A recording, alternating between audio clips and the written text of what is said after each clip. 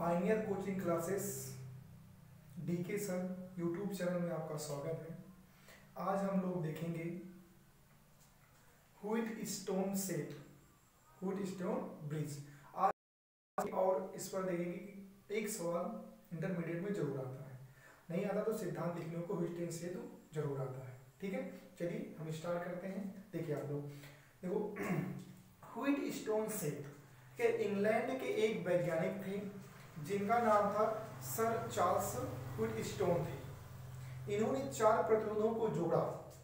चार प्रतिरोधों को जोड़ा और चार प्रतिरोधों के संयोजन से एक अज्ञात प्रतिरोध को ज्ञात करने पर निष्कर्ष निकाला एक अज्ञात प्रतिरोधों को ज्ञात करने की खोज की इन्होंने।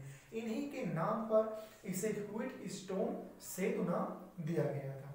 ठीक? तो देखिए हुइट स्टोन सेतु। ये इंग्लैंड के एक वैज्ञानिक थे जिनका नाम था सर चार्ल्स हुइट स्टोन इनका नाम था ठीक है ना? इन्होंने चार प्रतिरोधों को जोड़ा और चार प्रतिरोधों को जोड़ा और जोड़ने के बाद एक अज्ञात प्रतिरोध ज्ञात करने के लिए इन्होंने एक नियम जो प्रतिपादित किया, उसे हम लोग हुइट स्टोन सेतु कहते हैं। ठीक? ये आप लोग देख रहे हैं चित्र। ठीक है ना? पहले हम लोग इसका देखेंगे सिद्धांत। क्या देखेंगे? सिद्धांत। सिद्धांत के बाद इसकी प्रूफ, उत्पत्ति। प्रूफ कैसे किया जाएगा? फिर उसके बारे में हम लोग चर्चा करेंगे। पहले देखते हैं सिद्धांत। ठीक? सभी लोग ध्यानपूर्वक देखिए बहुत आसान है, एकदम सिंपल है। बस आपको देखिए पूरा वीडियो और आपको पूरा का पूरा याद हो जाएगा। यहीं का यहीं याद करा देंगे ठीक है?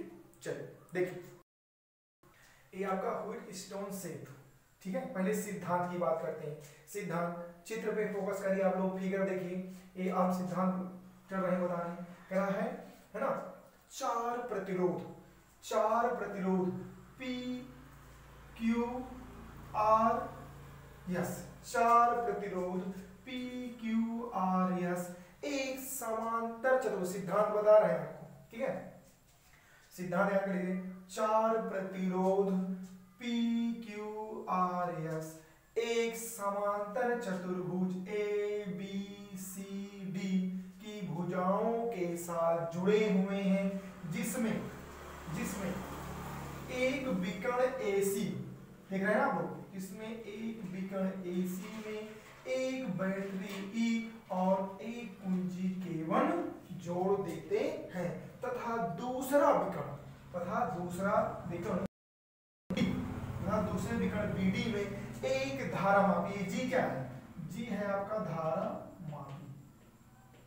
है ना? क्या कहते हैं? धारा मापी। ठीक? करा है? विकर्ण बीडी में एक धारा मापी कैपिटल जी तथा एक दूसरी कुंजी के टू जोड़ देते हैं। ठीक? ये हो गया सिद्धांत। सिद्धांत में से एक बार देखो।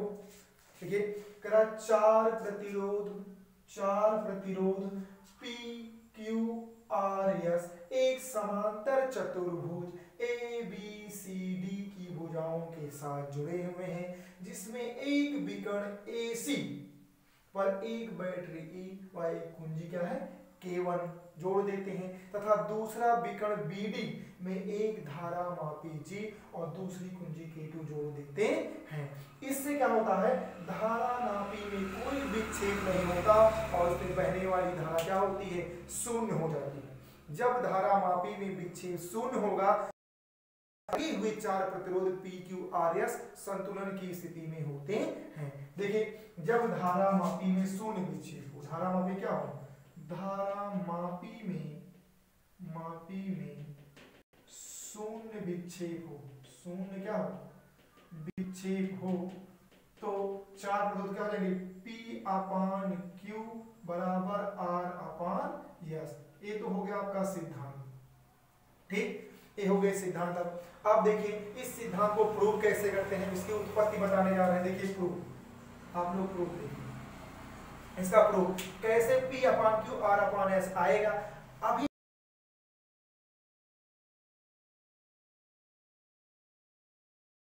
नियम यहाँ पे लगाना चल रहे हैं, ठीक?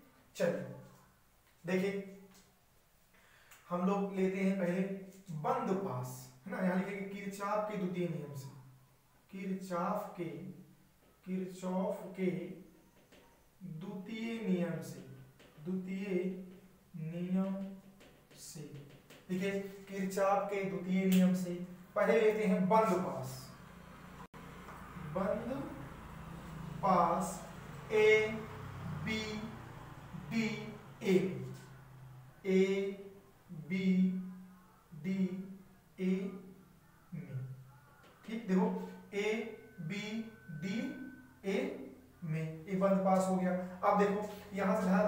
जा रही थी। और यहाँ पर जाने के बाद दो भागों में बटी इधर आई वन हो गई, इधर आपका आई टू हो गया। है यहाँ आई वन कर लेना, और यहाँ हो जाएगा आई टू ठीक है? इधर आई वन होगी, इधर क्या हो जाएगा? ये आई टू होगा।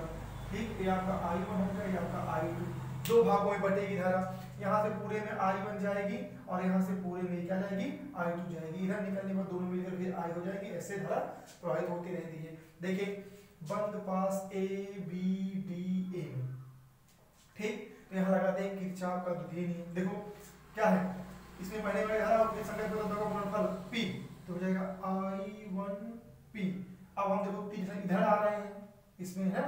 अब यहाँ से इधर जा रहे हैं तीर के निशान आपका इधर है, d की तरफ़ है।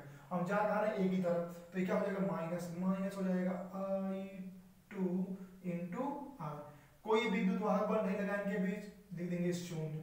इसे लिख सकते हैं i1 p equal to I one P equal to क्या हो जाएगा? आई टू आर समीकरण बना लिए ठीक, अब लेते हैं बंद पास दूसरा। बंद पास बंद पास हम लोग दूसरा बंद पास ले रहे हैं। देखिए, बंद पास आपका हो जाएगा B C D B B C D B यहाँ से देखो, इसमें धारा क्या आ है? आई वन धारा कौन सी है इसमें? इधर से आई वन ही आएगी, यहाँ क्या जाएगी? आई टू ही जाएगी। ऐसे, ठीक है? देखो आई वन क्या हो जाएगा? Q I one Q minus देखो, अब हम आ इधर आएँगे बंद इधर से लिए हैं तो ज़्यादा तीन के साथ उधर है तो इसे क्या माइनस हो जाएगा। I two S equal to कोई विद्युत वाहक बल नहीं है ज़ीरो तो जाएगा? I one Q is equal to I two S समीकरण दो। अब क्या करेंगे?